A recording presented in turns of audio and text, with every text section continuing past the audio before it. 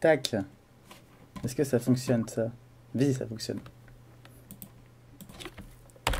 J'arrive.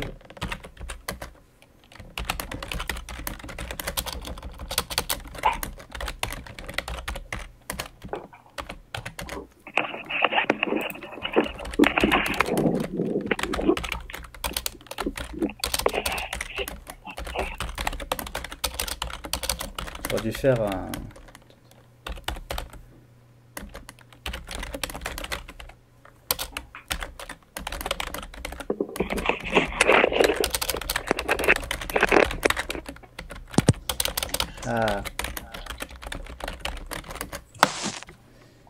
Et ben on va commencer.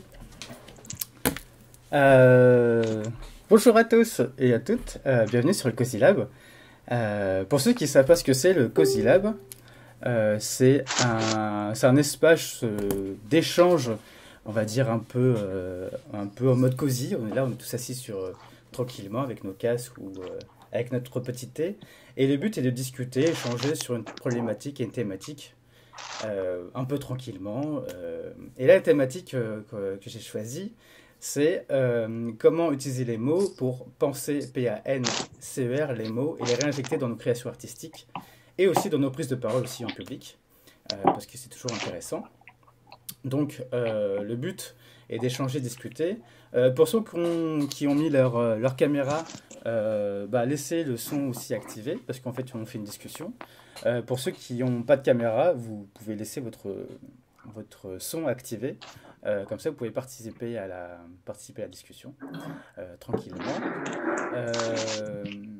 Et le but est qu'on papote, qu'on discute tranquillement. Et pour ce faire, avant, est-ce que je peux te demander, Eleonore, de te présenter un petit peu pour, pour ceux qui ne te connaissent pas ou un peu? Oui, bien sûr. Attends, je mets ma. Eh bien, je, m'appelle Éléonore, je suis, euh, je suis comédienne au départ et en fait, je, suis maintenant autrice depuis quelques années. J'ai officié euh, de nombreuses an- années chez euh, Golden Moustache, entre autres, un peu pour Studio Bagel. Et maintenant, je suis en indépendante et je, travaille beaucoup pour. je fais beaucoup de brand, j'écris de la publicité, j'écris de la fiction, j'écris de la bande dessinée. enfin, tout ce que je, je peux. Peu importe le support, voilà. Putain, c'est vraiment le pire exercice pour moi, ça. Et Justement, c'est un peu, un peu le truc. Euh, c'est assez concis aussi. Euh, comme ça, c'est très bien. Euh, et je vais faire un, un léger, mais léger tour de table hein, pour savoir qui vous êtes et qu'est-ce qui vous intéresse dans cette conversation. Comme ça, on sait avec Eleonore à qui on s'adresse et comment on peut aussi s'adresser à vous. Bah, ceux qui sont, ceux qui veulent prendre la parole, genre euh, Enrico ou Alex ou Claire ou euh, Nabila, si je vois iPhone, du coup. Alors, euh, moi, c'est Enrico, 43 ans, en reconversion, en confinement et en impro aussi. Et j'ai participé à, au Cozy Lab de la semaine dernière qui était, qui était vachement intéressant. Donc, je me suis dit de, retenter l'expérience avec ce nouvel argument qui est pas mal aussi pour, pour réfléchir un peu, puis voir si, si jamais je suis inspiré de- d'apporter un petit peu mon point de vue, pourquoi pas. Cool, merci Enrico. Je t'en prie. Vas-y, une autre personne. Bah, je peux. Vas-y, ouais, carrément. Euh, bah, moi, j'ai découvert euh, bah, ce live euh, par rapport à Éléonore, que je, dont je suis le travail. Je suis photographe, moi, depuis peu, depuis peu de temps. Et puis, euh, moi, ça m'intéressait d'un point de vue euh, artistique, créatif. Euh, et puis aussi, euh, bah, on remet les choses dans le contexte. Dans le confinement, ça peut toujours être intéressant de penser ces mots. Voilà. Ouais. C'est sûr. ok. Euh, Vas-y, Alex, ouais. Bonjour, moi je suis Alex, comédienne, sophrologue et formatrice. J'ai toujours aimé écrire sans jamais oser montrer ce que j'écrivais aux gens. Euh, mais j'aime beaucoup euh, lire et aussi euh, le sujet m'intéressait parce que, parce que je trouvais voilà, que les mots pouvaient faire du bien. Et, et donc peut-être que ça va me comment dire m'inspirer pour oser peut-être voilà créer quelque chose et publier ce que j'ai écrit. voilà, pour arrêter de le garder pour moi quoi. C'est toujours un truc, quoi. Ça. Est-ce que Camille ou Claire voulaient prendre la parole? Oui, moi je peux. Ouais, vas-y. Du coup, je suis en reconversion professionnelle pour devenir comédienne depuis six mois à peu près. Donc là, je suis un petit peu bloquée par le confinement comme tout le monde. Donc voilà, j'ai vu euh, sur le... Je suis Éléonore depuis un petit moment, donc j'ai vu qu'il y avait euh, ce live là et de, la thématique m'intéressait beaucoup. Donc voilà, je suis venue pour voir. Euh, j'écris pas beaucoup, je fais plus des vidéos en impro pour le moment, mais voilà, j'ai envie de m'y mettre. Donc je suis dans une phase d'exploration. Voilà, ça fait partie de mon exploration. Top. Bien. Claire Vas-y. Oui, alors Claire Astrid, Nico. Claire Astrid, pardon. Oui, bah, pas de souci. 24 ans. Euh, je fais du montage vidéo et euh, je suis euh, actuellement en service civique. je peux exercer là-dedans et, et j'ai un amour fou pour les, pour les, pour les mots en général. Mhm. Dans, les, dans les deux sens, les deux, les deux écritures. voilà. Trop bien. Cool. je crois qu'il y avait Fanny aussi qui voulait parler. Oui, bonjour. Bonjour. Alors, euh, bonjour, bonjour. Alors, moi, je suis en, train de me former au coaching avec euh, l'approche narrative en particulier, euh, qui consiste à, aider la personne en lui offrant en fait une forme d'écriture qui peut être de la poésie ou un texte ou faire une lettre, par exemple, de démission pour, pour éradiquer son problème. Euh, et, du coup, euh, j'écrivais de mon côté aussi. Et là, j'ai trouvé peut-être une articulation dans le coaching euh, avec la poésie. Et je viens pour m'inspirer et puis pour retrouver aussi la motivation à continuer. Trop bien. Cool. Voilà. Merci, merci. bah, pour l'instant, on voit. Ceux qui veulent prendre la parole, vous pouvez toujours prendre la parole quand vous voulez. vous pouvez juste vous manifester, soit en prenant la parole, soit en levant la main, pour ceux qui ont les caméras. Euh, du coup, je vais euh, poser une première question. Éléonore, à toi, comme ça tu peux répondre tranquillement. Euh, quand tu écris tes textes, est-ce que, comment tu, est-ce que tu, tu, réfléchis à la manière de le faire ou tu dis, ok, par exemple, pour je vais prendre genre humaine, qu'est-ce qui t'a, qu'est-ce motivé à le faire et comment est-ce que tu l'as conceptualisé, on va dire? Bah, au départ, c'était une envie, c'était le, simplement le premier épisode. J'avais euh, envie d'écrire un dialogue et j'avais envie d'une mise en scène très simple et de revenir vraiment sur le sur les acteurs, sur euh, se concentrer. Enfin, c'est vrai qu'on vient du, moi je viens du web et du sketch où tout est très rythmé. Il faut penser euh, sans cesse à, à ce rythme, à, faire des vidéos très courtes, etc.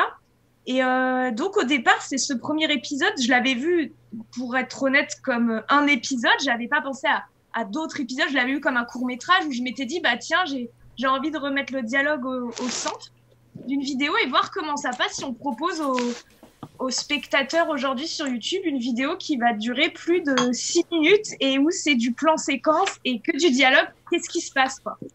Et bah il se trouve que ça, ça moi ça, ça m'a fait beaucoup de bien de le faire. Et ça a plu, donc euh, j'en ai écrit d'autres. Ok. Et comment tu. Comment tu... Les autres aussi pouvaient apprendre à parler, lui poser des questions et aussi nous poser des questions euh, aussi.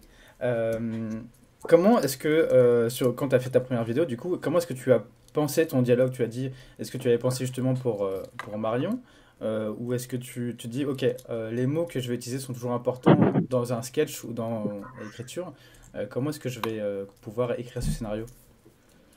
En fait, je l'ai pensé sur un tournage où j'étais comédienne euh, sur une série et je jouais avec Marion. On était en, confinement presque en hmm. Corse, qu'on était pendant la, en Corse pendant la tempête, alerte rouge. On est resté des semaines à tourner ensemble et tout. Donc, quand je traîne avec des comédiennes comme ça, en général, j'écris, elles m'inspirent ou ils m'inspirent, les comédiens. Donc là, c'était écrit pour Marion. Je l'ai vraiment écrit en pensant à elle qui dit chaque mot, etc. Et j'ai oublié la, ta question.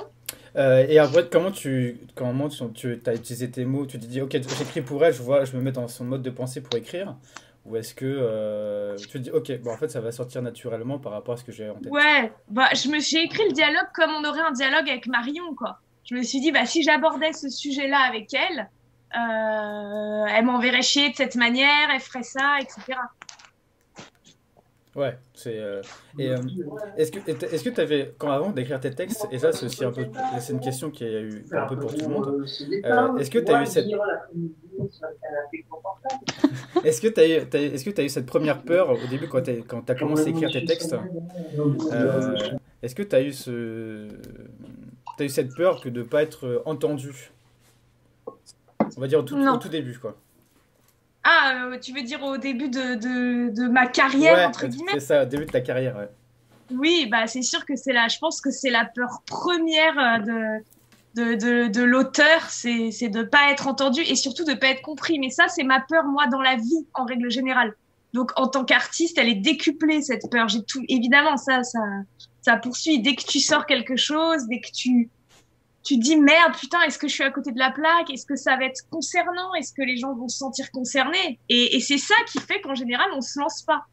Euh, c'est que souvent on retarde, on retarde ce moment où on se dit bah ah, ça me parle à moi, mais c'est peut-être un truc euh, où euh, c'est pendant longtemps je me disais oh mais sais pas des vrais problèmes que j'ai, moi je suis je suis blanche hétéro, euh, j'ai pas de problème d'argent et j'avais honte. Je me disais attends, est-ce que je vais aller parler de mes angoisses existentielles de petite euh, privilégiée quoi et, euh, et, ça, pendant longtemps, ça m'a bloqué. Puis un jour, je me suis dit mais en fait merde, euh, peu importe, on s'en fout. justement, la création, elle est là pour parler à tous et à chacun. Et, c'est justement ce saut dans le vide qu'il faut absolument faire à un moment en se disant bah tant pis, même si ça parle à deux personnes, c'est déjà mission réussie quoi. Et comment tu comment tu tu t'es dit ok je le lance comme ça? Sans euh, même si avant ayant la peur au ventre ou euh? bah c'est euh, à l'époque non à l'époque je me suis lancée parce que j'avais un en tant qu'autrice hein, je parle parce qu'en tant que comédienne j'avais pas peur il y y a un truc vachement plus objet il y a un truc où on dépend du désir des autres alors que autrice on est les autres, c'est-à-dire que c'est nous qui allons créer tout et c'est nous qui dirigeons. Et enfin, c'est l'impression que, que j'ai dans la création en tout cas.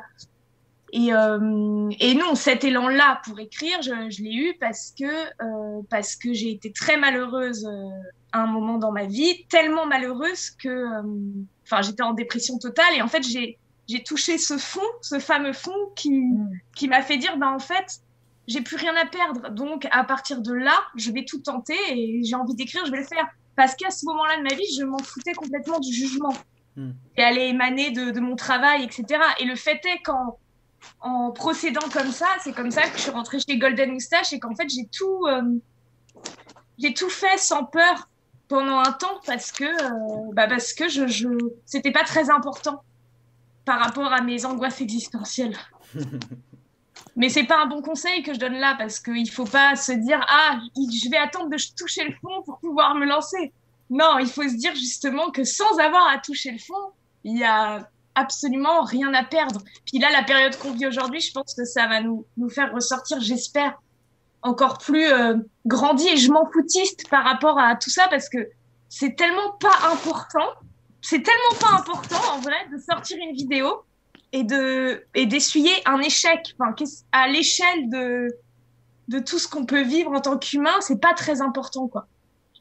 Mais bon, c'est facile à dire et c'est c'est moins facile à faire que de se prendre un gros vent euh, dans la gueule quand on sort une. Mais voilà, mais si si si si c'est un besoin, si c'est quelque chose de de nécessaire qu'on a vraiment envie de dire, moi je pense que c'est c'est nécessaire de le sortir et ce sera pas un échec, ça peut pas être un échec. Rien que pour soi, déjà, ce sera une victoire de le sortir. Mm. Et pour, là, c'est une question un peu générale pour tout le monde. Euh, est-ce que. Euh, qu'est-ce qui quels, sont, quels sont les freins euh, pour les autres? Est-ce que c'est l'utilisation des mots Ou, ou est-ce que c'est comment est-ce qu'on tourne les phrases pour qu'elles sortent Ou c'est l'envie Ou vraiment la peur de dire Ok, je, je dans quoi est-ce que je me lance et je sais pas où je vais? Moi, je veux, je veux, bien répondre à ça. C'est un petit peu la, le mix des deux parce que, alors moi, j'avais justement une question pour Eleonore. Euh, je la poserai à la fin. Donc, euh, moi, je viens du management. Et dans le management, on est souvent confronté, en fait, à, à, se confronter, justement, avec les personnes parce que les problématiques sur, dans le travail se, se proposent souvent et se proposent souvent sur des malentendus. Et c'est les malentendus qu'il faut résoudre souvent en management plus que le problème en soi.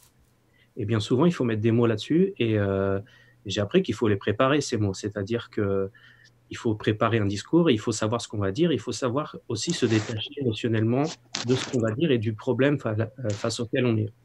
Et euh, très souvent, c'est là la difficulté. Enfin, moi, je me trouvais très souvent en difficulté par rapport à ça parce que j'étais très souvent, euh, je me positionnais très souvent comme la cible ou je le prenais sur le personnel, en gros. Et alors que c'était surprenant de voir que déjà, il y avait la démarche, donc il fallait avoir la démarche de se dire je vais au dialogue, je vais à la confrontation, et ensuite préparer tout un discours. Et c'était surprenant parce qu'en fait, les résultats, c'était que euh, mes attentes de, de, critiques que j'étais amené à, m'inventer ne correspondait pas du tout en fait à ce qui en sortait dans le dialogue. Donc c'était très surprenant, mais la démarche est toujours compliquée de mettre des mots déjà et enfin de faire d'abord la démarche, de dire je vais au dialogue et ensuite de mettre les mots qu'il faut sur ce dialogue. Donc la question pour Eleonore, c'était elle a parlé qu'elle avait des soucis, qu'elle était malheureuse, etc. Est-ce que c'était la démarche d'écrire ou c'était ce qu'elle écrivait qui finalement l'a sorti un petit, un petit peu de ce, de ce moment euh, compliqué? Ouais, c'est une bonne question et je pense qu'en effet, c'est la démarche.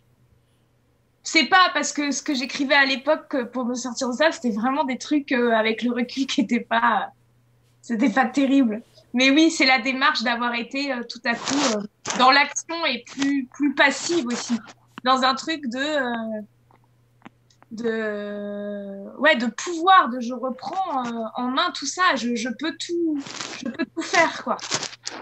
Est-ce qu'il n'y avait pas aussi quelque chose dans le, qui exorcisait un petit peu certains, certains doutes dans, le, dans l'écrire les mots et, de les, et, de les, voir concrètement posés sur une feuille ou externalisés par la voix? Il y a ça aussi qui, peut aider. Ouais, ouais, bah ça c'est un autre sujet, c'est sûr. Après, euh, c'est oui, c'est le, le, centre du sujet, euh, les mots qui vont permettre de penser, euh, de penser les mots. Et ça, c'est sûr que c'est libérateur c'est très très libérateur de pouvoir écrire ces mots, les balancer et avoir en face un miroir de mille, de mille autres mots qui sont les gens et qui nous renvoient ça, qui nous renvoient le j'ai les mêmes, j'ai les mêmes mots que toi. Et ça, c'est dingue. Et ça, c'est oui, c'est thérapeutique, de ouf. Ok. Moi, j'ai une question. Bien sûr, vas-y. Vas euh, je pense que j'ai la réponse parce que je connais un tout petit peu Éléonore, mais pas perso enfin, mais euh, est-ce qu'il euh, il y a eu la démarche de, d'accepter sa vulnérabilité pour pouvoir avancer justement et penser tes mots? Ouais, à fond, bah, y a un truc de. oui, d'accepter. oui, c'est vrai. C'est vrai d'accepter, d'accepter tes faiblesses, d'accepter qui tu es et de, de cesser de te. Mais ça va avec le jugement c'est que tu cesses de te juger et en cessant de te juger, tu oses tout. Hmm. Mais après, voilà, on l'accepte un temps, ce truc-là, et puis c'est toute la vie, c'est un combat. Ça, ça, il y a des phases où ça revient. En fait, c'est jamais gagné. C'est quand même un, c'est quand même un combat. Et pour euh, Alex, toi, tu as entendu, on a dit tout à l'heure euh, que tu avais un peu peur de te lancer euh, sur ce que tu as écrit. Euh, qu'est-ce qui te qu'est-ce qui te fait peur en fait? Est-ce que c'est par rapport à tout ce qu'on a dit, c'est la peur du jugement, la peur des mots? Ou, Ouais, je pense, oui. Ouais, parce que l'écriture, après il y a plusieurs styles d'écriture aussi. moi j'ai l'impression que c'est une écriture très chargée en fait. C'est hyper intime en fait, je trouve, l'écriture. Euh, parce qu'elle est remplie euh, d'émotions qui, qui nous traversent et puis qu'on en a envie justement de, de, de, transgresser par des mots, de transformer par, par, euh, par le fait de le poser. Moi, j'écris beaucoup à la main, en fait, je garde encore le truc à l'ancienne parce que voilà, c'est aussi comme un rituel en fait. voilà, et donc du coup, je me dis, enfin, par rapport à ce que disait Eleonore, et ce que je disais au tout début, c'est peut-être que qu'il faut que j'arrête d'être égoïste entre guillemets et d'arrêter de, le garder pour moi ou pour mes vieux euh, vieilles armoires, mes vieux tiroirs, et peut-être voilà qu'en osant le partager, ça parlera à une ou deux personnes et puis que ça inspirera. Euh, c'est sûr, c'est sûr. Euh, alors nous, en, travaillant, parce que Alex aussi est improvisatrice euh, comme moi, en travaillant avec euh, l'impro, on voit que quand on utilise chaque, mot pour, quand on, fait une impro, et qu'on utilise que chaque mot, on voit que ça fait mouche dans le, regard du partenaire. on se dit qu'en fait, on n'a pas vraiment peur. on a plus cette peur de dire, ok, je vais dire une connerie, je vais dire un truc qui ne m'appartient pas. Mais dans tous les cas, je vais quand même le dire parce que ça, ce, que, je fais, c'est comme si je faisais aussi un travail sur moi et que je le ressortais. Quoi. Et quand on voit que ça fait mouche dans le regard du, partenaire, on se dit ok, en fait, on a peut-être gagné un point. Euh, je sais pas, alors moi, je n'écris pas énormément, euh, mais, euh, mais je sais que le, pouvoir des mots euh, est quelque chose d'essentiel en fait dans une communication et aussi dans la création artistique. Euh, du coup, c'est un peu une question un peu plus globale. Euh, est-ce que quand vous écrivez quelque chose ou quand vous parlez, euh, vous réfléchissez, on va dire, à la puissance des mots, ou alors c'est juste d'un naturel qui arrive? En général? En général, ou quand tu écris, quand tu feras vraiment ta création, ou quand tu fais tes vidéos, par exemple? Ouais, vas-y, Claire. Claire, Astrid, pardon. Oui. Euh, je pense que ça, naturellement, c'est bien plus touchant que quand c'est réfléchi, quand ça, quand ça vient, quand c'est spontané. Et euh, pour moi, je trouve que l'intonation aussi, la manière dont c'est dit, joue énormément. Euh, de, prendre, de prendre le temps de, dire, de dire les mots. Et, et de, et ce qui est, ce qui est fou l'oral aussi, c'est de pouvoir, avec le regard aussi, insister sur le regard, et c'est bien plus touchant, je trouve, parfois, euh, de, de, sentir un, regard, bah, par exemple en, impro, de sentir un, de sentir un regard sur, euh, sur, sur soi avec, avec les mots justes au bon moment. Hmm. Hmm. Est-ce que, Moi, je voudrais rajouter juste, je ne sais pas si on m'entend, ouais, parce que ma connexion est pourrie, donc je me demande si on m'entend. Alors, je suis toujours un petit peu dans le cadre de, de mon expérience précédente, mais euh, je pensais à d'autres exemples qui pourraient être plus dans la vie courante, effectivement, ça marche aussi. C'est que quand c'est spontané, parfois c'est mal dit, le message arrive vachement plus directement. Et quand c'est construit, même si c'est sincère, ça reste peu crédible, je trouve. Ah, on n'a pas entendu la fin. Ça reste. ça reste, même quand c'est construit, quand c'est construit, même si c'est sincère, ça reste peu crédible. Ouais, bah ça, dépend parce que ça. En fait, c'est très compliqué comme question parce que ça, dépend de la, façon dont tu travailles et ce que tu racontes. Moi, je fais de l'autofiction beaucoup, euh, c'est-à-dire que je vais chercher un maximum de sincérité et pour ça, chaque dialogue, euh, genre humaine, il y a, y a pas de V2, il y a une V1, c'est tout. Il y a aucun, il y a jamais eu de je suis jamais. C'est normal, j'ai des producteurs, j'ai un réalisateur qui veulent repasser sur le texte et je ne veux pas. Sur ce projet, je ne veux pas parce que c'est très spontané et chaque réplique n'a pas été réfléchie. Pour toucher ce naturel-là, je veux ça. En revanche, il y a, des séries où c'est très écrit. Euh, J'ai pas d'exemple en tête là, mais euh, où il y a eu je sais pas combien. Enfin, il y a d'autres séries sur lesquelles je travaille, en tout cas où on en est à la à la V 15, la V 16 et c'est vachement plus écrit. Et tu peux quand même aller chercher quelque chose de très sincère. Mais, euh, mais c'est vrai que moi, je crois beaucoup en ce truc de, spontanéité. Je crois au travail, mais je crois aussi au fait qu'il faut pas trop. Tu sais, quand tu écris un truc euh, qui, qui est sincère, qui est à toi, tu le sais. Et euh, il y a plein de choses à travailler, la structure autour, etc. Mais les dialogues, ouais, moi, je pense que c'est important d'être spontané. Quand même. Mais c'est des techniques de travail, quoi. Il y en a d'autres qui travaillent pas comme ça. Justement, est-ce que tu peux expliquer un petit peu euh, comment tu euh, comment tu bosses? Bah, parce qu'il doit, y avoir, il doit y avoir quand même une méthode. Au-delà de la sincérité, enfin, au-delà de la construction d'un écrit, il y, a, il y, a, certainement une méthode qui rend plus efficace que ce soit spontané ou pas. Oui, bah après, tu as la méthode, si tu veux écrire des scénarios, tu as des super méthodes comme euh, Save the Cat, qui est une, un super livre mm. de ah merde, je l'ai pas là. Euh, j'ai oublié son nom. Mais en tout euh, cas, bah, là, Cameron, t'en as plein. Ouais. Ouais, voilà. Et là, t'as des trucs très scolaires, de, le parcours du héros, les embûches qu'il va traverser, euh, comment tu construis un héros, comment tu construis sa quête, ses péripéties, etc. Après, il n'y a pas de méthode, il n'y a pas de mode d'emploi euh, pour écrire un bon dialogue. Il n'y a pas de mode d'emploi. Enfin, moi, le mode d'emploi que je donnerais, c'est écris comme tu comme tu entendrais dans la vie. Mais encore une fois, si tu veux faire ce genre de... Je sais qu'il y a des gens, ils détestent ça, ils détestent les, les situations très euh, réelles.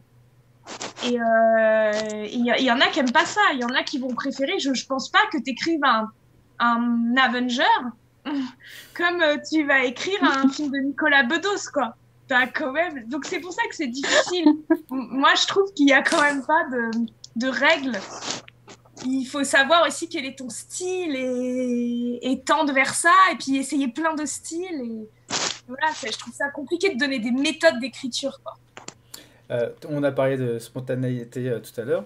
Euh, même si c'est une V1, pareil, du coup en impro c'est toujours une V1 dans tous les cas, parce que c'est ce qui sort quoi. Ouais, V0. ouais, une V0, du coup c'est ce qui sort. mais est-ce que, du coup là c'est pareil pour, pour tout le monde, euh, quand on écrit, même si c'est spontané ou même quand on parle, on fait quand même attention à ce qu'on va dire pour pas non plus. Euh, euh, on fait attention à, la personne à qui, on, à qui on parle ou à qui on écrit, ou même en musique en fait. en musique, on fait aussi attention aux notes et aussi aux mots qu'on peut employer dans la musique. Est-ce que du coup, en faisant trop attention, est-ce qu'on est plus spontané ou l'inverse? Vous voyez ce que je veux dire ou pas? Moi, j'ai une question par rapport à l'impro. C'est un monde que je connais pas du tout. Enfin, que je connais de loin, plutôt en spectatrice, pas en tant que méthodologie, tout ça. Euh, est-ce que tu parles en fait de, pleine conscience plutôt, euh, plutôt que de, euh, de, de, spontané, enfin, de, maîtrise de ce qu'on dit? Alors, Ou de... justement, il y a. Vas-y, pardon, excuse-moi, finis, ta question. Non, non, vas-y, vas-y. Non, finis ta question, vas-y. Non, c'était ah, ça en fait. Alors en fait, il y a, y, a, y a, un peu des deux, on va dire, dans l'impro. Euh, si Alex, tu pourras, tu pourras revenir dessus aussi après. Euh, il y a un peu des deux. C'est-à-dire qu'en fait, ça, dépend, pareil, des méthodes dans lesquelles tu, tu fais l'impro. Euh, en fait, tu es, es, conscient de, de, ton personnage, de ce qu'il va faire. Et on va dire que si tu es en pleine conscience, tu vas complètement accepter le personnage que tu es en train de jouer et qui va complètement improviser. et ta parole devient complètement libre. Euh, du coup, tu vas pouvoir dire des mots euh, qui, qui appartiennent que à son personnage-là, et tu vas faire en sorte de construire une histoire autour de ça. Du coup, tu es complètement euh, ouais, en pleine conscience de ton personnage. Tu as, d'autres méthodes où c'est un peu de l'acting, où du coup, tu vas faire en sorte que tu vas réfléchir, que chaque mot amène à une situation, ou amène à faire en sorte que le personnage éprouve, l'autre personnage en tout cas, ton personnage éprouve un sentiment, une émotion. Euh, et du coup, ça, tu, le, réfléchis et tu le conscientises. Euh, et du coup, vu que tu le conscientises, tu vas faire en sorte que ton personnage amène l'autre là où, veut, où que tu veux que ton personnage aille. Donc voilà, tu vois, il y a un peu, c'est pareil euh, que dans l'écriture, il y a un peu ces deux méthodes aussi qui viennent. Mais moi, j'avoue que je suis plus adepte de ce qu'on appelle la pleine conscience, où en fait tu te lâches complètement et du coup, euh, tu deviens ton personnage, entre guillemets, et les mots que tu vas utiliser, c'est une sorte de, une sorte de catharsis, on va dire. Euh, les mots que tu vas utiliser, bah, en fait, va essayer de, toucher l'autre pour qu'il y ait une sorte de répondant aussi avec l'autre. Je ne sais pas si Alex, tu veux euh, ajouter quelque chose à ça. Oui, et puis euh, bah, pour, euh, pour partir des improvisateurs, mais je pense qu'il y a aussi, on peut ouvrir sur le monde des acteurs et des comédiens, c'est qu'il y, a une, il y a une partie de toi, effectivement, qui, s'oublie au service du personnage, mais tu restes quand même euh, Flavien, Alex, tu vois, tu es quand même responsable de ce que tu fais. Donc, comme tu dis, je pense qu'il y a un peu des deux. Et puis, c'est à toi de choisir. Qu'est-ce que, quelle est ton intention en étant dans ce personnage ou quand tu dis ça? Est-ce que, enfin, je sais, je pense pas qu'on puisse choisir, enfin, euh, se réduire à l'un ou l'autre. Enfin, je sais pas en fait. Euh. C'est pour ça que je voulais la précision. entre le, le, fait de réfléchir et se maîtriser, etc., mais qu'il s'agisse d'impro ou de d'écriture, surtout euh, dans, dans, ce que dans ce dont on parle, de vraiment faire la enfin voilà je comprends un peu plus euh, ça voilà comment tu dans quel sens tu vas par rapport au fait de se lâcher ou de vraiment maîtriser ce que tu fais quoi. Et puis aussi je pense que ça dépend carrément du contexte tu vois genre euh, Enrico dans un contexte de manager qui parle euh, c'est complètement différent parce que faut voir réel. Voilà, considérer qui est ton interlocuteur. Peut-être que son interlocuteur, il va pas comprendre une certaine manière de s'exprimer, et il va en comprendre une autre en fait. Et, et du coup, c'est là où bah, le manager va devoir adapter aussi son langage pour pouvoir se faire entendre et comprendre finalement. c'est là où il y a la différence peut-être entre la spontanéité et la préparation. C'est que dans la spontanéité, en tout cas dans ce cas-là aussi, mais après dans la vie de tous les jours, ça peut dépendre du caractère. Moi, j'ai trouvé qu'il y avait une espèce de balance, un équilibre entre le faire attention à soi et le faire attention à l'autre. Il y a toujours les deux qui sont présents, attention, hein, dans, dans, un discours. Mais dans la spontanéité, la balance va plus être un petit peu vers l'attention à moi, moi qui suis l'auteur. Alors que dans la préparation, bah forcément, ça bascule vers l'attention à l'autre parce qu'on revisite ce qu'on a à dire de façon à ce que le message passe et donc l'attention est plus portée vers l'autre. C'est-à-dire qu'on va reconstruire un petit peu le texte, on s'efface un petit peu de ce texte nous, pas pour se protéger, mais c'est juste pour effacer justement notre, notre personne et d'être un peu moins impliqué dans ce qu'on dit. Et par contre, pour laisser la place au fait, au message qui doit être délivré. Alors, je répète, ça dépend des caractères, ça dépend de plein de personnes, mais c'est vrai que dans l'impro, j'ai trouvé que c'est euh, une façon aussi de équilibrer au mieux et d'optimiser au mieux cette balance, c'est-à-dire que l'impro permet une, spontanéité qui va plus vers l'autre du coup? Parce que tu dois être dans cette démarche de, ton coéquipier, de l'acteur, de lui donner des, des, points de départ, des cadeaux, enfin ces trucs-là. Après, c'est aussi préciser, euh, c'est quoi, enfin, qu'est-ce que tu veux dire par spontanéité? Parce que moi, du coup, ça me fait penser à, est-ce que spontanéité, c'est une réaction?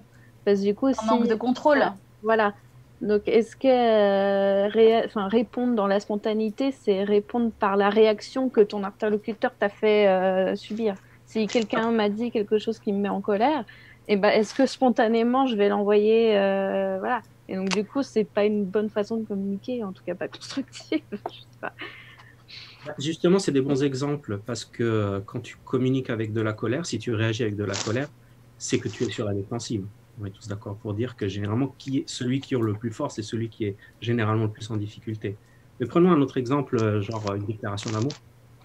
Quand tu es spontané, tu te exposes, mais tu euh, tu construis pas vraiment bien ton truc. Enfin, on, voit souvent dans, tout ce qui est film, euh, le mec qui se lance dans une déclaration, il est tout le temps en train de bafouiller, etc., à moins qu'il ne se mette devant sa glace en train de se répéter le petit discours qu'il va écrire et qu'il va ensuite déclarer. Donc, il y a un petit peu déjà dans la vie courante euh, plusieurs exemples, même assez contrastés sur ce sujet-là. Je, suis, euh, je, pour euh, corroborer un peu tout ça, même si du coup il y a la spontané, il y a la réaction, même si du coup on utilise un peu tout ça, est-ce que dans tous les cas, les mots qu'on utilise, est-ce qu'en on, en tant qu'artiste, on ne fait pas une sorte de, de cartasis, euh, je ne sais jamais le mot, bref. Catharsis. Catharsis, merci beaucoup. Euh, et du coup, on, on essaie de d'expier euh, nos mots MAX, aussi bien par l'écriture que par le chant. Est-ce qu'on n'est toujours pas en recherche d'expier tous ces mots-là? MAX. Du coup, je te regarde Eleonore, mais je te regarde aussi. En recherche de quoi? De les expier Ouais, de les expier ou alors de les travailler d'une certaine force, d'une certaine façon en fait. De les Est-ce que tu peux Ouais. Ouais. Est-ce que tu peux reformuler cette question? Je peux reformuler cette question. je peux le refaire. Euh, est-ce que quand Parce qu'elle était spontanée la question. Elle était totalement spontanée. C'est ça. Euh, est-ce que euh, justement, quand on est en démarche artistique, euh, on... Je sais même plus ce que j'étais en train de dire. Je, suis parti direct sur un truc. Il y avait le mot catharsis et voilà. Et du coup, voilà, je crois que je suis allé trop loin en fait dans ma pensée et j'ai des mots trop gros. Alors du coup, je vais redescendre d'un niveau. Euh, est-ce que quand on est toujours en démarche artistique, euh, les mots qu'on utilise vont faire en sorte que on, on, exprime ou alors on essaie de, de faire en sorte que nos mots MAX disparaissent ou on essaie de les exprimer est-ce que vous avez compris la question Ou de les dompter. Ou les dompter. Oui, tu peux dire, ouais, voilà, de les dompter. Je pense que dans le fond, tu, tu espères évidemment, euh, si ce n'est une guérison, au moins euh, la voie de la guérison en, en, en, les, en les couchant sur le papier et encore mieux quand tu peux sortir ton histoire, etc. Et euh, alors après, ça dépend de chaque auteur. Moi, j'ai besoin pour, euh, j'ai besoin pour oublier une histoire d'amour de, de l'écrire et puis de l'afficher. et puis j'ai, Moi, j'ai une question à ce sujet. Ouais. Une question à ce sujet. Est-ce que d'après toi, ou toi, dans ton fonctionnement, dans, dans ton mode de travail, tu as besoin d'avoir de la bienveillance envers toi-même ou en fait, ton regard par rapport à toi-même, ton état, ta façon d'écrire, c'est autre chose parce que c'est après, c'est se lancer, etc. Mais est-ce que tu dois être dans un bon mood par rapport à toi pour avancer et coucher sur le papier tes sentiments, aussi mauvais qu'ils puissent être, quoi? Ouais, bah maintenant, euh, oui, enfin, y a, alors il y a, y a plein d'auteurs et d'autrices qui, qui ont besoin et qui cultivent un certain mal-être parce qu'ils sont persuadés qu'en étant mal, c'est comme ça qu'ils sont géniaux. Je caricature, mais c'est un peu vrai. Et j'ai beaucoup d'amis, je les adore, mais j'ai beaucoup d'amis qui du coup sont dans des, des cercles dépressifs sans, sans fin parce qu'en fait, pour eux, c'est leur matière créative qui se trouve là-dedans. Euh, moi, j'ai un fonctionnement complètement opposé parce que j'ai été très dépressive et que je le suis plus. Enfin, j'ai mon fond qui est là, mais au contraire, moi, je, je cultive la vie saine et je cultive le, le bon fonctionnement de, de, de mon cerveau dépend d'un d'un système de vie très sain, de méditation, de, de yoga. J'ai besoin d'être dans un très bon état d'esprit pour coucher mes mots. Euh, si je suis dans un cercle euh, dépressif, aujourd'hui, il n'y a, a plus rien qui sortira. J'ai besoin de... Et en général, j'ai un, un, un petit cercle dépressif, je sors de ce truc-là, et c'est là que j'écris. Mais, mais il faut... euh, mais alors ça, c'est très... C'est propre à chacun. Il y en a qui ont besoin Oui, de ce truc très négatif. euh, euh, Il y en a, c'est un besoin, voilà. Moi, au contraire, ça me plombe et je, je déteste travailler comme ça. Mais... Et du Je te coup, rejoins, euh, je te rejoins là-dessus parce que c'est vrai que moi, l'état, l'état second dépressif, ça me bloque dans toutes les démarches de, de n'importe quelle démarche. Donc, euh, Bah ouais. effectivement, c'est dans le bon état où les choses se remettent à fonctionner. Mais c'est vrai que c'est un petit peu dans la dépression, on va puiser un petit peu l'inspiration. Ouais, bien sûr. Mais une fois que la déferlante est passée. et tout à l'heure, avant que Inès te pose la question, tu disais que euh, toi, tu avais besoin d'écrire euh, sur le papier. euh, par exemple, tu parlais de la, euh, tu parlais de la rupture, etc. Mais tu avais besoin de les coucher sur le papier parce qu'en fait, ça te faisait du bien. Du coup, tu n'avais Oui. pas fini de, t'avais pas fini d'en parler en fait. Si, si, bah, si. Enfin, écoute, euh, euh, oui, c'est un, c'est un moyen, c'est sûr, de, de... C'est un moyen de ranger dans des tiroirs. De dire, bon, bah, cette histoire-là, mon tiroir, je- j'ouvre, euh, je crée ce court-métrage et ce sera, ma relation, elle est mise là, indélébile. Elle est écrite, c'est comme des photos. C'est comme, euh, voilà, des photos de moments. Moi, j'ai besoin de faire ça. T'en as qui qui n'ont pas du tout besoin de faire ça. Encore une fois, c'est très propre à chacun, quoi. Mais, euh, mais ouais, moi, je trouve ça, je trouve ça merveilleux d'avoir ce pouvoir de faire ça parce que c'est vrai que souvent, je, mes copines, mes potes euh, qui vivent des ruptures et qui sont pas du tout dans ce milieu, euh, je, me dis, mais comment ils font? Et là, j'ai une copine qui est pas du tout dans ce milieu, qui a une rupture et qui a écrit. Et elle m'a dit, putain, Lolo, je comprends pourquoi euh, tu t'écris, parce qu'en fait, il y a un truc tellement libérateur, et pourtant, elle a écrit que pour elle. Et, euh, et en fait, du coup, ça lui a donné l'impulsion d'écrire un. Elle a écrit un icône. Et, elle... et c'est marrant parce Un que je l'ai vu alors pas un icône. Nikon, le festival. Ah oui, euh, d'accord, le festival de Nikon. Ouais. le- le- Et elle a écrit un petit court métrage et tout sur sa relation. Elle l'a pas fait, bon, parce qu'il y a eu le confinement, etc.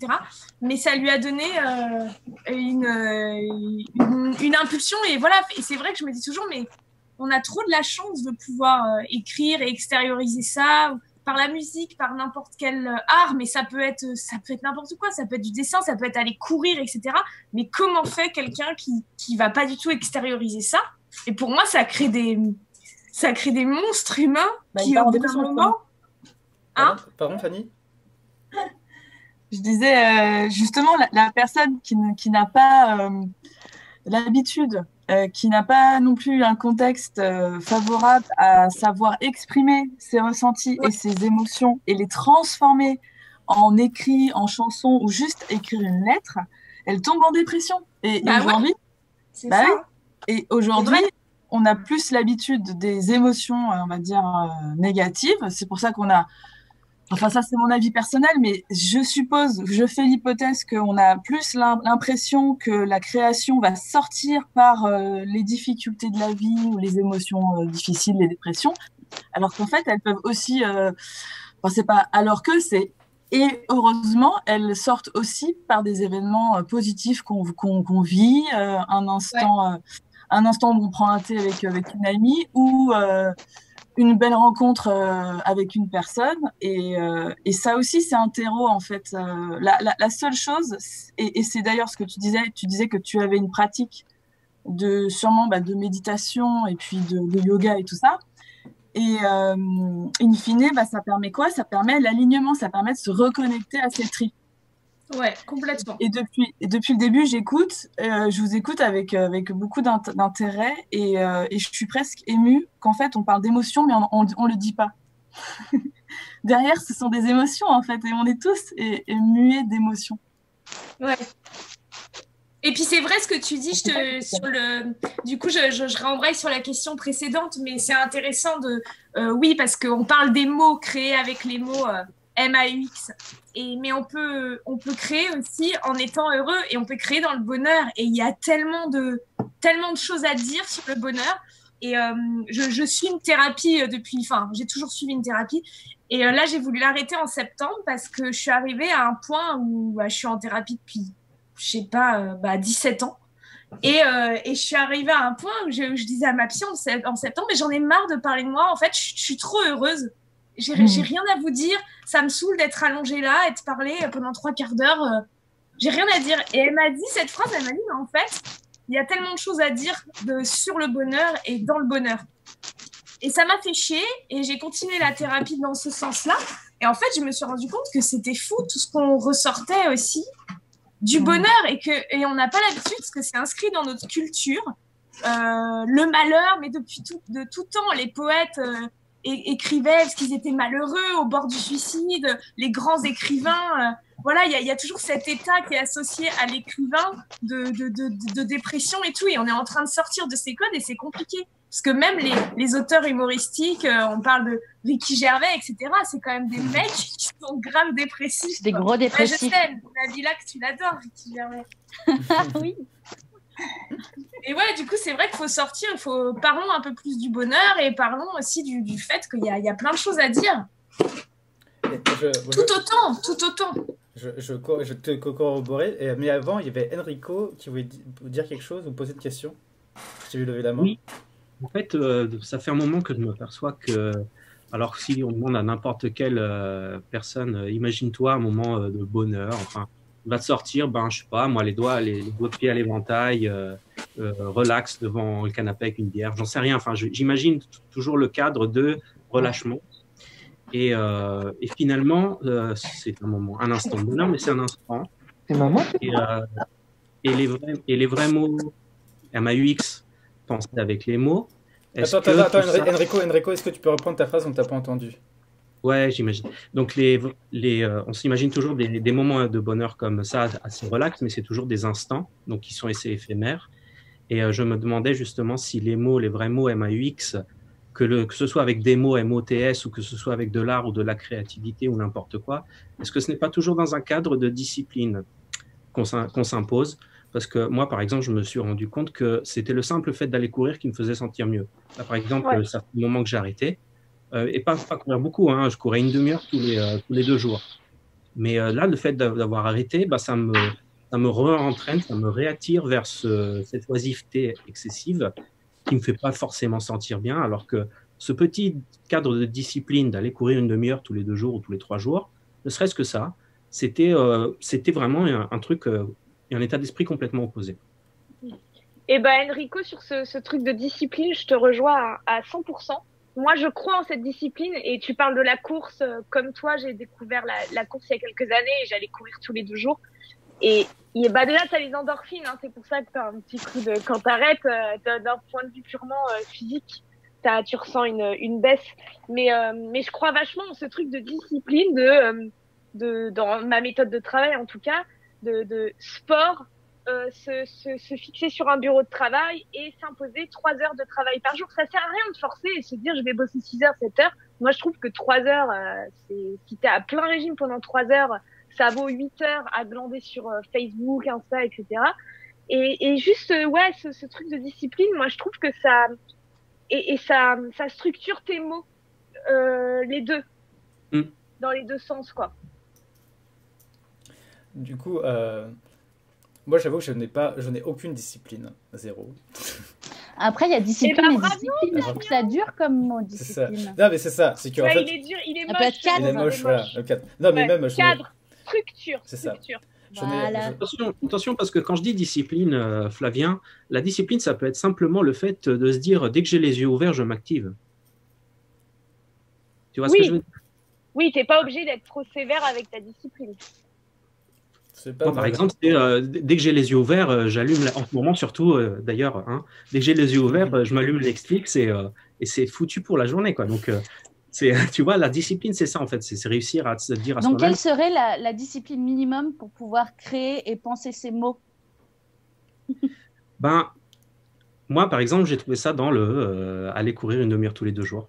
Mais elle est propre à chacun, hein, ça. Elle est propre à mm. chacun. En tout cas, je pense que la vraie discipline, c'est euh, on a les yeux ouverts, on s'active à faire quelque chose.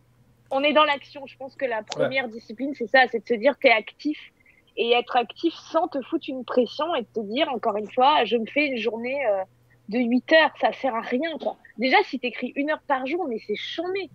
Mm. Déjà, c'est trop bien, quoi. Et puis te préparer aussi, en fait, te mettre, euh, te mettre en disponibilité, tu vois, pour recevoir. Et puis pour pouvoir donner. Et, et pour ça, il faut que tu prennes, il faut prendre soin de soi. Il faut, euh, voilà, moi, c'est le yoga, la méditation, tu en as d'autres, je sais pas. Mais tu vois, il faut se reconnecter à soi-même. Ça, c'est le, la base, en fait. Et pour se reconnecter à soi-même, bah, as, oui, tu as plein de choses. Je sais pas, une balade en forêt. Je rêverais d'une balade en forêt, en ce moment. il, y a aussi, euh, il y a aussi un autre truc. Euh, moi, je crois beaucoup à exprimer ses émotions, euh, que ce soit aussi bien en écriture, en parole et tout. il y a aussi des exercices que tu peux faire, c'est d'exprimer exprimer en fait ce que tu as envie de dire je, prends un peu l'exemple des Sims parce que c'est un truc qui, parle beaucoup quand tu parles devant ta glace. Ah, en fait, tu peux exprimer aussi des émotions euh, comme ça aussi. Du coup, en fait, le fait de les sortir, de les parler, en fait, tu vas voir qu'il y a un truc qui est, assez fort de, de chanter sous la douche. Euh, de, de, danser quand tu es en train de faire un truc, de, de sortir ce que tu as envie sur le moment, en fait, être du coup, vivre le moment présent, en fait, de ce que tu as envie de faire. Et ça aussi, euh, c'est pas mal aussi pour penser PN, euh, CER, les mots. Euh, parce que du coup, tu n'y penses pas, du coup, ça arrive naturellement, tu vas le faire. Et du coup, comme euh, ça rejoint un peu tout le monde, tu restes en activité, tu restes en action. parce que du coup, en fait, tu t'en fous un peu du regard des autres. Et c'est ce que tu es en train de vivre sur le moment, quoi. Ouais, après, faut faire attention parce que le regard des... on s'en fout du regard des autres. En revanche, il y a un truc, moi, je suis pour la méthode de verbaliser chaque émotion et je verbalise toutes mes émotions. Donc, que ce soit dans, dans mon travail, chez ma psy, quand je cours, euh, quand je suis en colère, bah, je vais faire du sport, voilà. Après, il faut faire attention à ta relation aux autres et à l'autre. Quand tu es comme ça et que tu verbalises tout, euh, souvent, enfin, je sais pas vous, mais moi, je suis confrontée à des gens qui font pas du tout ça. Et du coup, c'est très déroutant pour eux d'être face à quelqu'un qui, déverse un flot d'informations et qui tout à coup se retrouve devant une, un livre ouvert, en fait, et ça peut, ça peut créer des, euh, des, problématiques euh, dans, ta relation aux autres. Et euh, enfin, moi, je sais que dans ma vie perso, ça, ça peut. Euh, tu vois, mon mec, par exemple, il y a des moments, c'est trop fatigant pour lui parce qu'il y a trop de, il y a un flot d'émotions qui est hyper difficile à gérer pour quelqu'un qui est pas comme ça et, et que ça peut être difficile à suivre, quoi ce que je veux dire, c'est que c'est important de tout verbaliser, mais qu'il faut faire attention aussi à ceux qui t'entourent et faut pas le faire n'importe quand. Mm. Euh, et, ne pas, enfin, l'autre n'est pas ton défouloir à émotion, quoi. Donc, il faut faire attention aussi, et ça revient sur la question de spontanéité, de est-ce que tu réfléchis avant d'agir? Et moi, je fais partie des gens qui ne réfléchissent pas, et du coup, sans réfléchir, et bah, bah voilà, je me pose pas la question parfois de juste l'autre, il n'est pas dans cet état-là, il est fatigué, il est, voilà, il y a un truc. Et c'est là où l'écriture intervient, parce que quand tu écris, tu ne fatigues personne. et, euh, et, ouais, et ça ne concerne que toi. Ouais. Et je pense que c'est important de, de, faire la relation à l'autre aussi, aux autres. En impro, nous, et même au truc général, ce qu'on appelle l'écoute. C'est que en fait, c'est comment est-ce que tu, par rapport aux autres, c'est comment est-ce que toi tu te rends disponible et quand, quand tu écoutes l'autre, euh, l'on regarde, écouter l'autre, et que tu vois s'il est en disponibilité, là tu peux dire ok, je peux du coup, être disponible en temps que lui. Savoir, savoir quand l'autre est disponible aussi et ne pas. Parce que c'est trop génial quand tu as, as, enfin trouvé cette clé de Ah, mais en fait, c'est génial, il suffit de tout verbaliser et ça va vachement mieux. Bah oui, c'est génial, sauf que aussi, tu as des gens face à toi qui sont pas tout le temps disponibles pour écouter ton torrent de verbeux. Verbal? Verbeux je sais pas, je pense que pendant toute la conversation, on a fait que des fautes de français. on parle de mots, tu vois.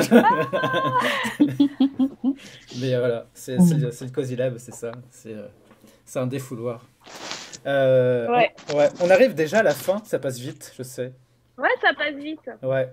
Euh, euh, Alex, est-ce que euh, cette conversation t'a un peu appris des choses?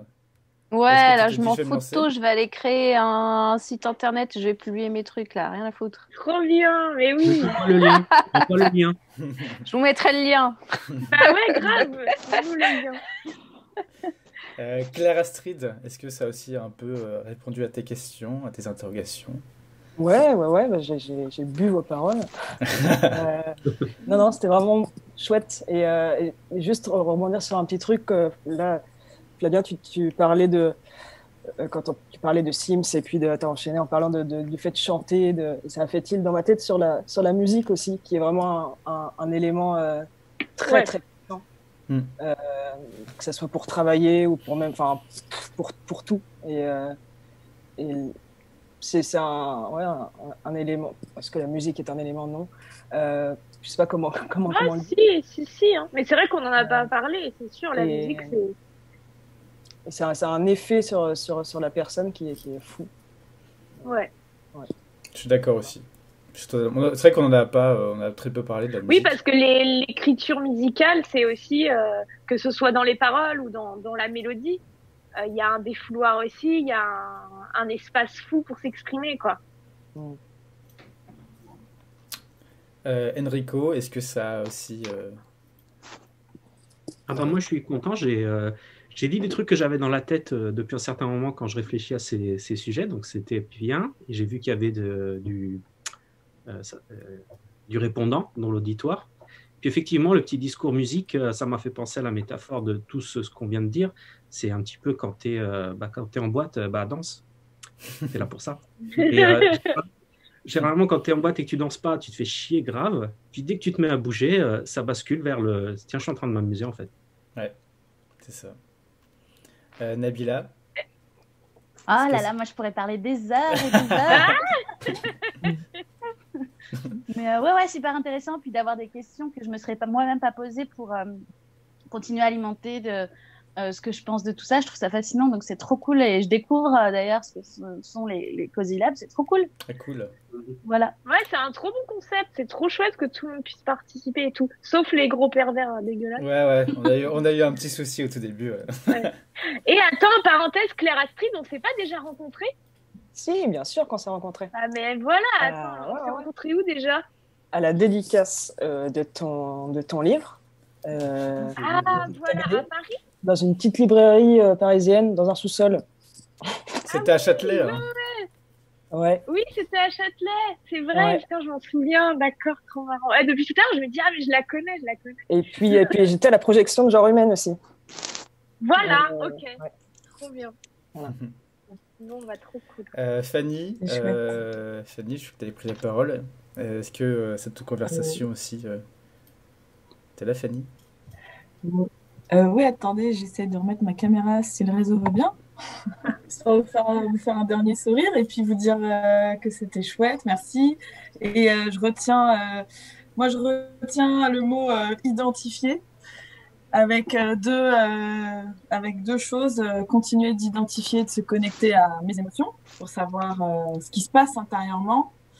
Et, et pour ce faire, euh, je vous invite à faire un truc que j'ai commencé à faire. C'est euh, en fait écrire la liste euh, de, toutes, euh, de tous les mots qui permettent de, traduire euh, bah, la joie, la colère, la tristesse et la peur, parce qu'il n'y a pas que je suis colère, je me sens, ouais. je me sens triste ou je sais pas quoi. Oui, il y a tellement en fait, de. C'est vraiment un boulot que je fais en coaching avec les coachés, c'est qu'en fait, on, on, on, réa enfin, on apprend, parce que je crois qu'on réapprend pas, je crois qu'on apprend en fait aux gens à mettre des mots sur la façon dont ils se ressentent.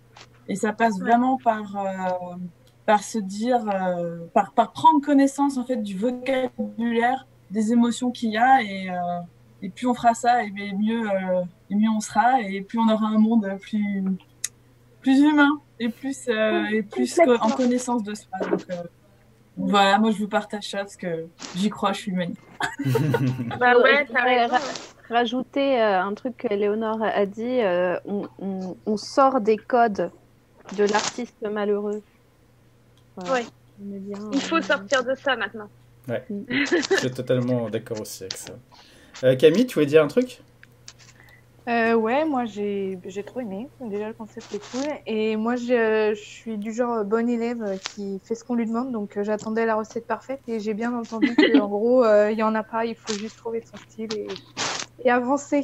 C'est ça. Mais ceci dit, si tu veux écrire, si vous voulez écrire des scénarios, vraiment Save the Cat, c'est le, d'après moi, c'est le meilleur. Euh, alors c'est pour l'écriture de scénarios, de films, de, euh, enfin ça peut être euh, n'importe quoi, mais je, je, pense que là, d'un point de vue méthodologique, c'est très bien, très bien fait. Ouais. Euh, T'en as un autre aussi, je sais plus c'est quoi, mais il y a Save the Cat, c'est au niveau, c'est le truc qui est utilisé le plus, le plus souvent. Quoi. Ouais. Il y a Story aussi. Oui, c'est ça, Story, c'est ça, exactement. Ah oui, Story. C'est celui-là, ouais. ouais. Mais je l'ai pas lu celui-là, c'est bien? Moi, moi j'adorais, mais Enfin, faut faire sa, faut faire sa confiture quoi, avec, euh, avec tout ce qu'on donne. Hein. Ouais. Ouais. Bah oui, oui. Mais de toute façon, c'est beaucoup d'infos. C'est un peu, euh, c'est un peu, euh, c'est un peu le cheminement personnel. C'est comment est-ce que tu composes avec tout ça et comment tu, du coup, et eh tu avec ça, quoi. Léonore, est-ce que tu as un dernier petit mot avant la conclusion? Bah écoutez, non, ça fait du bien de voir des gens. ça m'a fait trop plaisir d'être avec vous. Et c'est vrai, c'est fou comme ça fait du bien. et, euh, et voilà, et j'espère vraiment euh, bah, être utile euh, à 1% au moins et vous lire bientôt ou vous voir faire des trucs si vous avez envie d'en faire. Et j'espère que rien ne vous retiendra. Top. Et eh ben, merci beaucoup. Merci. Euh, merci de cette merci. discussion. Euh, le Cozy Lab euh, est ouvert 24 h sur 24 et 7 jours sur 7. je reprends tout le Non, non, euh, voilà. C'était une discussion que ça fait longtemps que je voulais un peu faire cette discussion sur, sur penser les mots. Euh, MAUX. Est-ce que tu as eu tes réponses je... La plupart du temps, oui, j'ai eu mes réponses. Mais en fait, moi, ce qui m'importe le plus, c'est euh, de, de, partager l'information et qu'en en fait, on, voit un peu les modèles de pensée de tout le monde et qu'on arrive à se faire nous-mêmes son propre modèle de pensée et qu'on soit actif, en fait. Qu'on soit pas juste passif à dire, bon, bah, on attend, on attend le truc. Et avec ça, avec cette conversation, comme ça, en fait, on, on, bouge un peu nos cœurs, on bouge un peu nos esprits, euh, et qu'on soit, euh, soit créatif, sensoriel, magique, euh, fantastique. ah oui Beau. voilà, ce que, voilà un peu ce que, ce que j'aime dans ces discussions. Et c'est un peu ce que reflète aussi l'esprit du Cozy Lab, un, esprit cosy, mignon, euh, faire en sorte que les gens euh, puissent discuter euh, de thèmes qui ne pourraient pas forcément parler avec d'autres personnes, mais voilà, qu'on puisse trouver un peu de fraternité un peu dans tout ça. Quoi. en tout cas, merci d'avoir suivi cette session du Cozy Lab. Cozy Lab revient la semaine prochaine avec un autre thème. que je crois que sera le, je crois que normalement le thème sera comment allier parentalité et travail.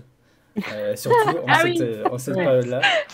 Euh, du coup, voilà, est-ce que on est un truc un peu plus concret, mais voilà, un peu comment et comment on peut décliner aussi le travail un peu pour tout le monde, qu'il n'y a pas de sexisme et de dans les genres et tout. Voilà, ce sera sûrement ça le prochain thème. Bon courage Ouais, c'est ça. Mais c'est pareil, on essaie de, de, faire en sorte que les sujets soient un peu plus larges possible pour que tout le monde puisse prendre la parole et qu'on arrive à voir euh, ce qu'on peut faire toujours dans le, dans le côté positif. Merci. Euh, et Ouais. Et merci à tous. Merci. Merci à vous. Merci.